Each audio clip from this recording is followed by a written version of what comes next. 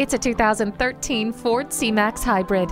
This hybrid compact is powered by a dynamic combination of gasoline fuel and lithium ion battery power. It gives you the space you need and the smaller carbon footprint you desire. You'll find pleasant surprises like the smooth finish of the leather shift knob and the added safety of turn signal indicator mirrors. This sleek and roomy vehicle shows off a little too, with a leather trimmed steering wheel with audio controls. Program garage door openers, gates, and lighting systems with HomeLink. Rain-sensing wipers maintain a clean and clear view of the road ahead. Ward off the chills with the heated seats. It's a fresh take in an emerging market.